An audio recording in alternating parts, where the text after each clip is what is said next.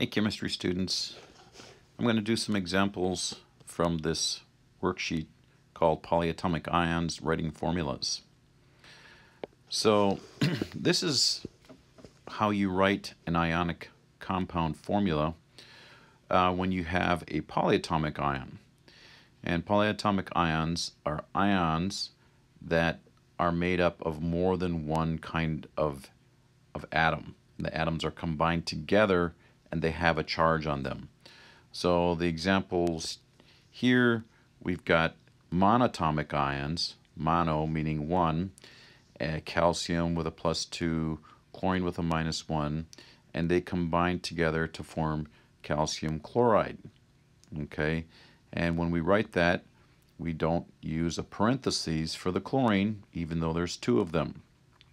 The other example here, we've got hydrogen plus 1, oxygen minus 2. They combine together to form water, which is H2O. And again, you'll notice that we don't write hydrogen. We don't write hydrogen in a parentheses here with the 2 outside of it. We don't ever do that with monatomic ions. But when we get to polyatomic ions, um, like this one right here, uh, the hydroxide, OH, those two um, elements, hydrogen and oxygen, come together and they form a polyatomic ion. Poly meaning more than one, and ion, of course, meaning that it's charged. So the OH has an overall charge of negative 1.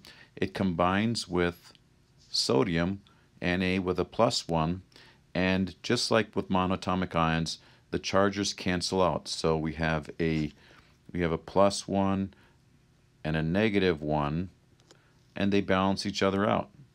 So we get this, the formula of NaOH, and nothing is in parentheses. That's not, the Na parentheses OH is not correct. The next one that we have is an example. We've got calcium, Ca with a plus 2, and OH with a negative 1.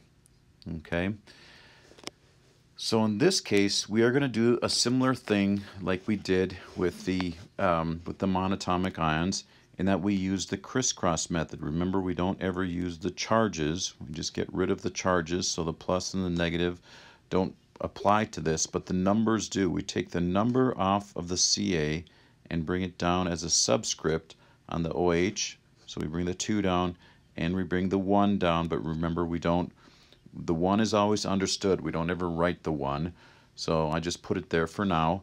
But then we end up, because this 2, right here, this 2 is now attached to an OH, a polyatomic ion, we use parentheses around the ion, okay?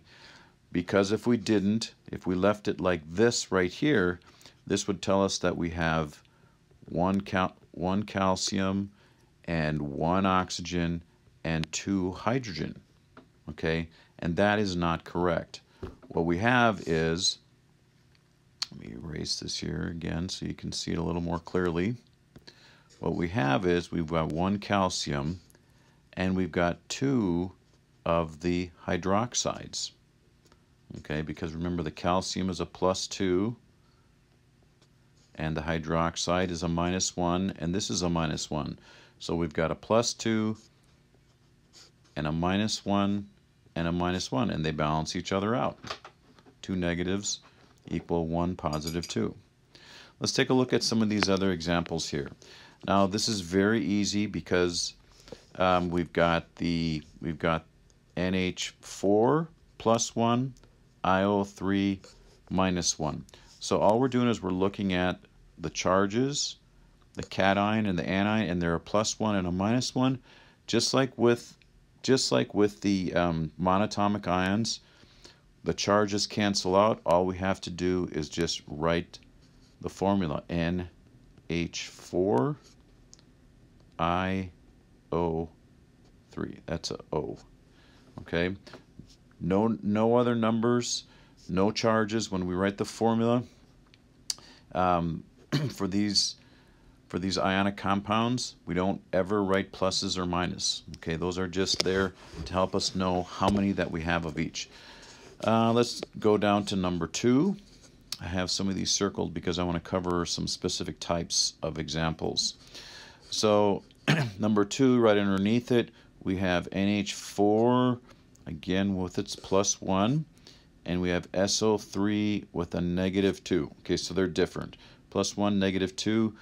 Um, we need to use the crisscross method. So we're going to take the two, remember not the not the charge, just the two, and put it down there. And the one, we're going to put it right here. Okay, and it's kind of messy. Make this a little bit bigger here. Okay, so we can see these, what we did. Again, the 1 was brought down here, and the 2 was brought down here. So what do we end up with? NH4, and then there's a 2. There's two of them, so we have to put the parentheses around the polyatomic ion, and then SO3, and since we have one of them, we don't need the we don't need the parentheses. Okay? And again, if we didn't have the parentheses, if we didn't have the parentheses here, what we would have, what it would look like, would be NH42. And that is not correct. Okay, so that is all wrong. Make sure you use the parentheses so you know how many you have of each one. Okay, let's go over here to number 11. We've got CO with a plus 3 and C2O4 with a minus 2. And we are going to use the crisscross, crisscross method. Bring the 3 down, bring the 2 down. this is a great example because when we look at this right here, okay, it's a capital C with a small o. That tells you that it's a monatomic ion. Okay, it's only one thing. In order for it to be a polyatomic ion, you have to have more than one capital letter like you do right here. Okay, so again, let's clean this up here. Take a look at it. And you've got CO, capital C small o, okay, cobalt. That's one, that's one element. C, capital C, capital O is two different elements. That means it's a polyatomic ion. We're still going to use the crisscross method. Okay, with a 2, bring the 2 down, and we bring the 3 down. So what does that look like in its formula? C, capital C, small o, with a subscript 2. And again, we're not using we're not using the parentheses on that. If it was a capital C, capital O, okay, then you would have to use parentheses because it would be some form of polyatomic ion. But since there's only one capital letter, then that's we're only that's monatomic, one kind of element. And then the rest of it was C2O4. The subscript that we brought down was a 3. We're going to put that 3 here. And because we have more than one of the polyatomic ions, we use the parentheses.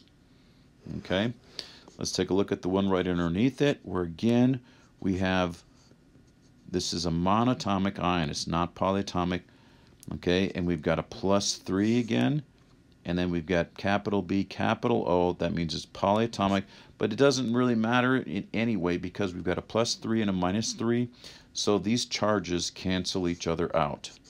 So all we have to do is just write capital C small o B O 3 and that's it. Okay? And I want to do one more example. I know I had one more. There it is Okay, so we can do an example like this, which is somewhat similar to what we just did where you had a plus 3 and a minus 3. So we reduced, you always reduce when you can. In this case, again, we have a capital M, small, small n, which means that that is a monatomic, and then CrO4 with two capital letters, the C and the O, that means that's a polyatomic. We have a 4 and a 2, and we are going to crisscross. Okay, we can bring a 2, crisscross. We're going to bring a 4, but we're going to reduce those. Okay, we're going to reduce those because we have a common denominator of 2. You can divide 2 by 2 and get 1, mn 1, and you know that we're not going to write that because 1s are always understood. and then CrO4 2 and because this is a polyatomic we need parentheses okay? And that's how you do these examples. I've done five you've got 15 more but I think I covered everything that um, all the different kinds that you'll see. Make sure you ask your teachers write emails get in those Google Meets and uh, ask questions. Good luck on this